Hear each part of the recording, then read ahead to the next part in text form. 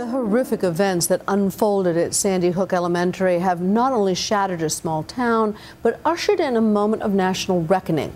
Last night, President Obama gave an emotional speech at a memorial honoring the victims, saying that the violence must stop. But will Washington respond with more than words? Here's ABC's Jake Tapper. It was a trip he never wanted to take to deliver a speech he never wanted to write. President Obama arrived in Newtown, Connecticut under a cloud of cold rain. But inside the high school, where he met with the victims' families, he tried to bring some warmth. And after an interfaith service, the president told Newtown that the nation grieves with them.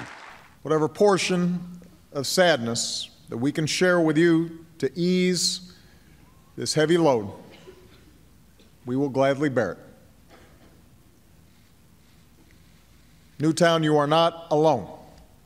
But this is a community consumed by grief. And there were no words to comfort those weeping when Jessica. He listed the names of the slain children, Benjamin. those beautiful little kids, as he referred to them on Friday. Avielle. Allison. It was heart wrenching to sit in that room, to hear the firsthand grief. Not just the weeping so many of us as Americans and as parents have experienced, but the real anguish, the devastation. But we as a nation, we are left with some hard questions. And a president struggling to argue that some meaning will come from it all. Those close to the president say he's been hit hard emotionally by this tragedy. The father of two young girls connected with the parents' pain in a very personal way.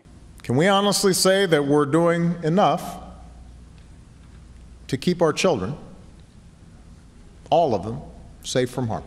And if we're honest with ourselves, the answer is no. But now, the rubber meets the road. When he referred to our freedom, was he referring to gun rights? You know, we obviously have a society that uh, is one based on laws, uh, but it is a free society that creates a balance between the laws that we must abide and the freedoms that we enjoy.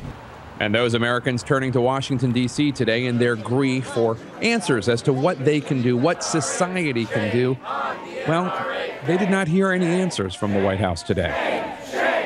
Can you name one thing the president has done in the last four years to help remove weapons of war from our streets? You know, there's no question, Jake, that the scourge of gun violence is a problem that uh, has not sufficiently been addressed.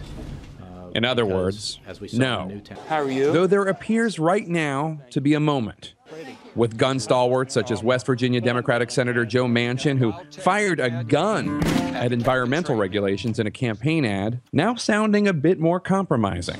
I don't know anyone in the sporting or hunting arena that goes out with a, an assault rifle. Mm. I don't know anybody that needs 30 rounds in the clip to go hunting. And then there's the mental health component. The White House points out that Obamacare increased access to mental health care for millions of Americans, but access to those services is worse than for other kinds of services. And the National Alliance on Mental Illness reports that during the recession, states cut almost $2 billion in their budgets for mental health treatment. At Newtown High School Sunday, teachers left a message on a classroom's whiteboard thanking the president. In this picture, they tweeted, You're in our thoughts and prayers, the president wrote back. And for now, that will have to do. This is Jake Tapper for Nightline at the White House.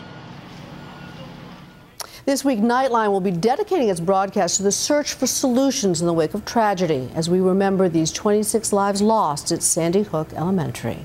Good night, America.